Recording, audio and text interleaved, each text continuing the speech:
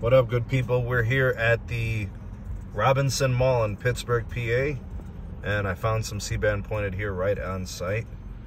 All right, so um, what I'll show you guys here is the sight of some of the gear there. So it, it looks like they just basically slapped on the antenna and the radio there on that rooftop site. I don't know if that's a bank or something. There's some more gear over on that side of that tower site, but that's that looks like T-Mobile actually. Anyways, um, let's go ahead and test this. I picked it up on the way in.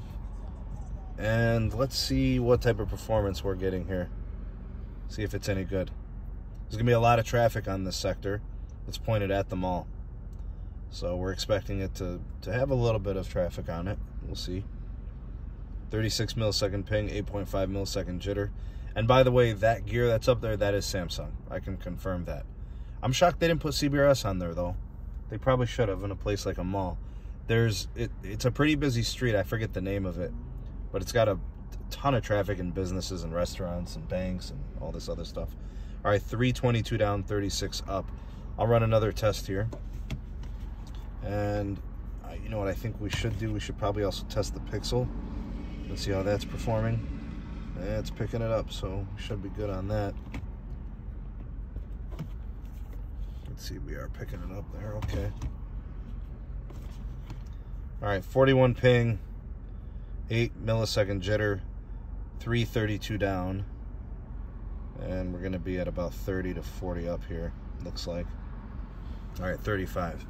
All right, let's go ahead and run the pixel there. You will see 5G ultra wideband, top right hand corner. And what I want to do here is, let's take a look at the um, the deets on this connection here. Oh, wait a minute. That signal's not very good. Maybe it's because I'm so close. Maybe. I don't know. It's like right there. Yeah, but that signal isn't very good. Hmm. What are we getting for dB here? Come on, focus iPhone, come on. There we go, 105 dB. A little noisy too, 6 dB on that. Okay, so let's see what we ended up getting. 304 down and 43 up. 23 ping, 2 millisecond jitter.